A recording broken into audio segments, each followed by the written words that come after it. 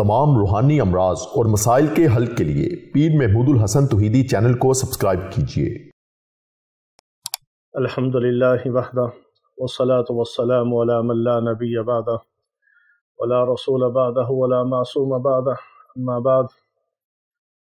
मोहतरम भाई और बहनों, अस्सलामु अलैकुम वरहमतुल्लाहि वबरकातुहू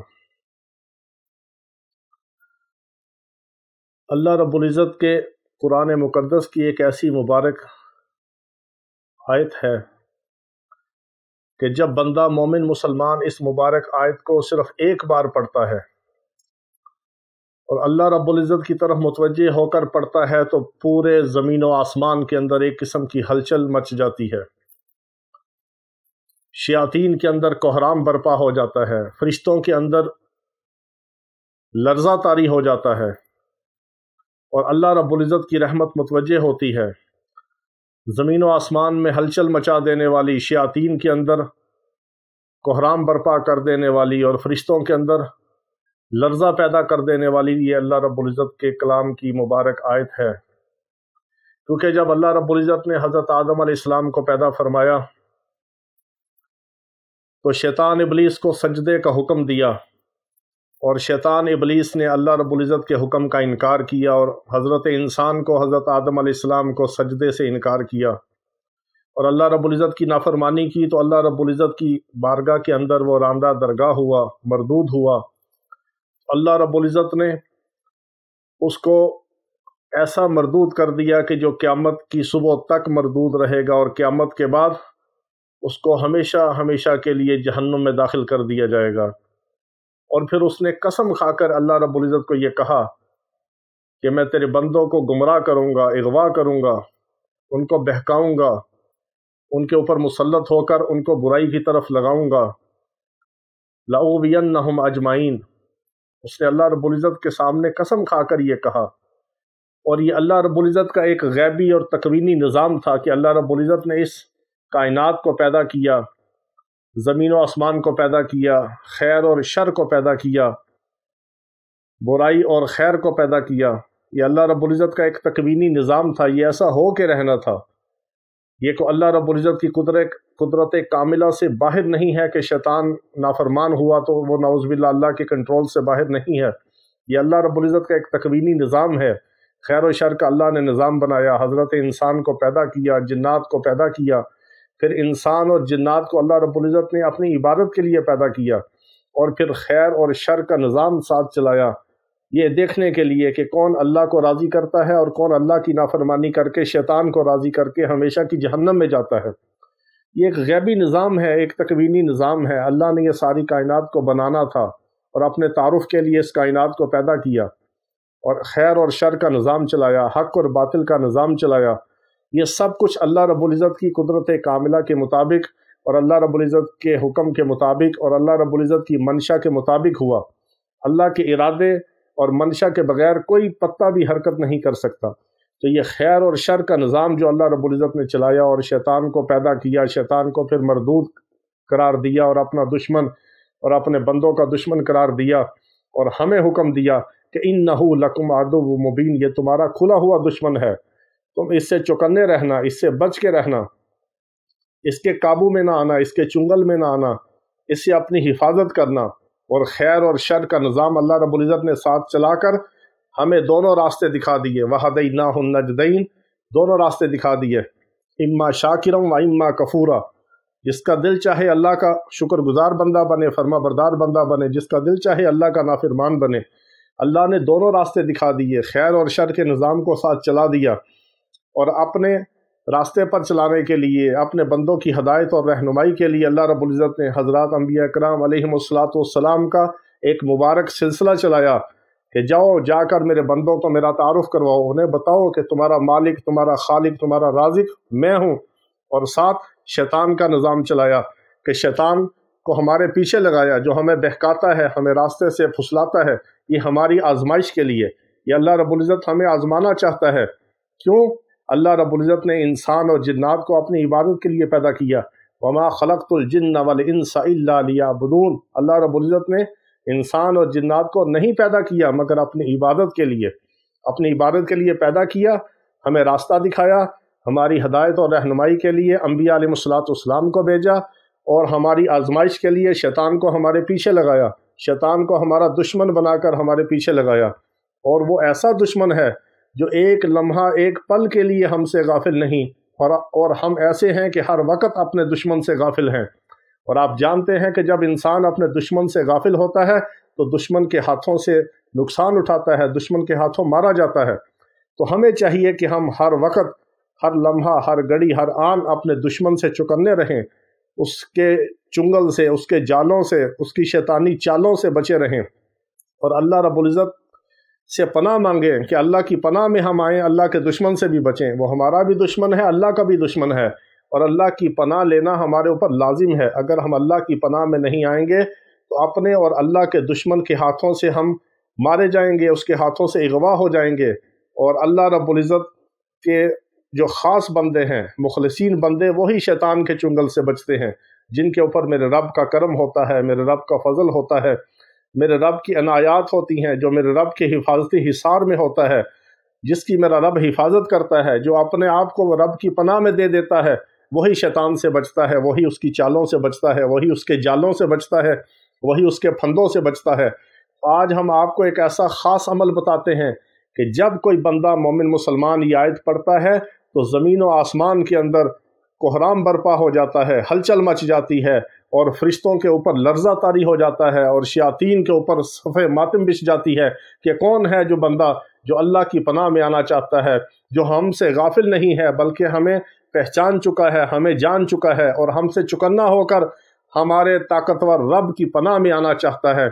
जब बंदा मोमिन मुसलमान एक बार ये पढ़ता है, औज़ बिल्लाशैतानरजीम के पनाह माँगता हूँ मैं अल्लाह की शैतान मरदूद से तो शयातीन क्या क्योंकि शैतान तो जन्नात में से है, और शैतान का जो पहला नाम था, वो अजाजील था जो आसमानों में इसका नाम था।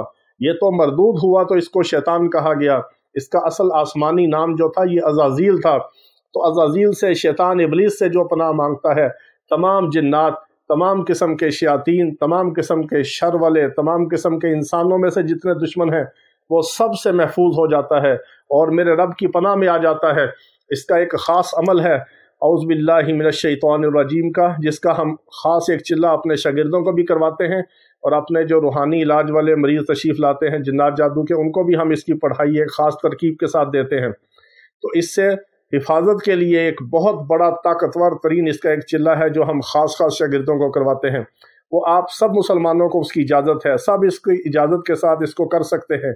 इसको आप सवा लाख भी कर सकते हैं। इकतीस सौ पच्चीस बार रोज़ाना पढ़ के चालीस दिन में इसकी ज़क़़त सवा लाख हो जाती है। ये ज़क़़त सग़ीर है, ज़क़़त कबीर का अमल एक और है फिर, वो इससे तीन गुना ज़्यादा है। इसके अमल करने के बाद ये होगा कि कभी भी आप नफ्स व शैतान के हाथों नहीं आएँगे।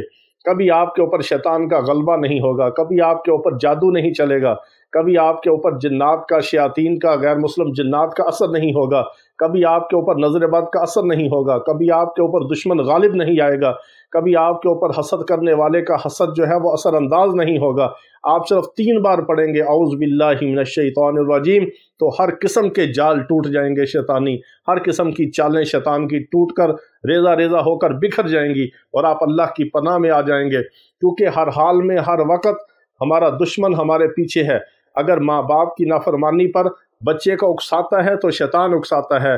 बीवी और शोहर की लड़ाई करवाता है तो शैतान करवाता है। कोई बुराई करवाता है तो शैतान करवाता है। किसी मोमिन मुसलमान से मिलावट करवाता है तो शैतान करवाता है। झूठ बुलवाता है तो शैतान बुलवाता है। कोई जना करवाता है तो शैतान का उसमें अमल दखल है।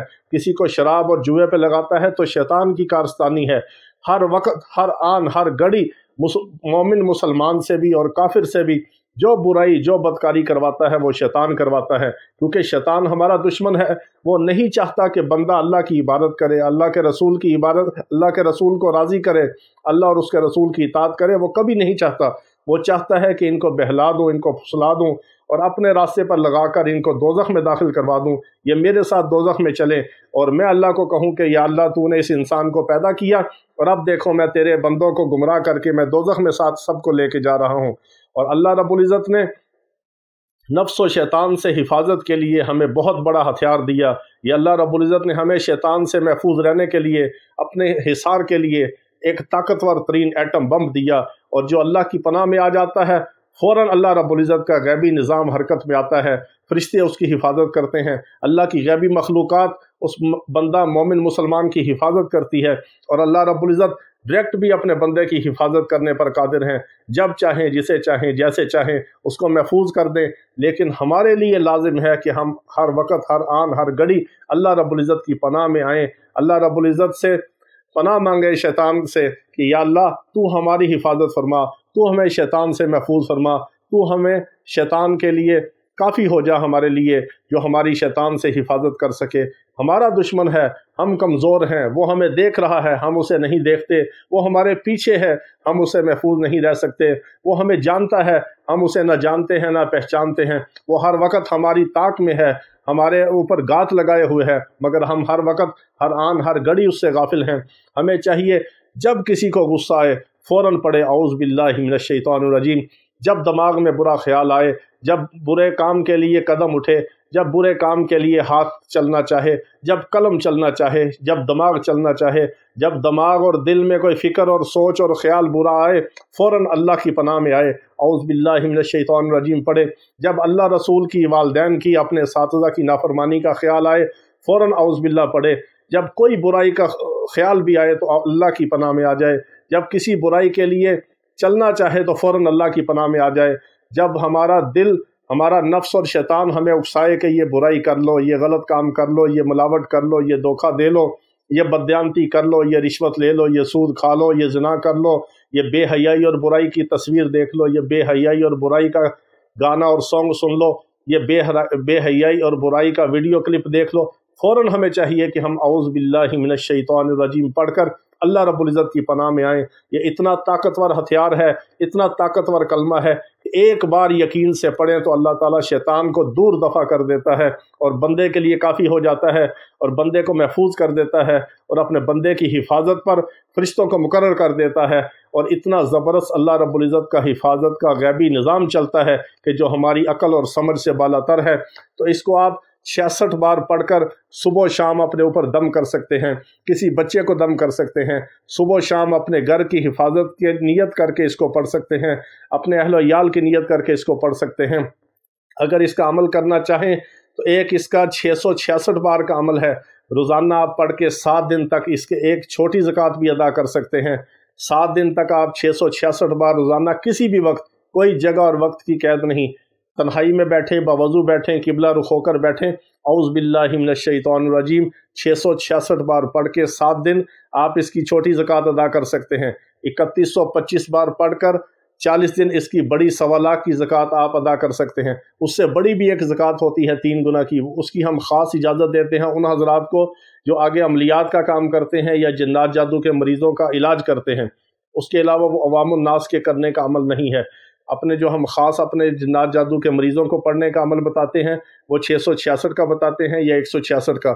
आपको हमारी तमाम किस्म की तरकीबों की, तमाम किस्म की तादाद की ख़ास इजाज़त है। जो ख़ास इजाज़त लेना चाहें, वो कमेंट में अपना नाम लिख कर भी इजाज़त ले सकते हैं और हमारी तरफ़ से आम और ख़ास भी इजाज़त है और अल्लाह रब्ज़त पूरी उम्मत मुस्लिमा को नफ्स व शैतान से महफूज फरमाए। अल्लाह ताला हमारी हर हान हर घड़ी, हर हाल में नफ्स व शैतान से हिफाजत फरमाए। वाखिर दावाना अनिलहमदिल्ला रबालमीन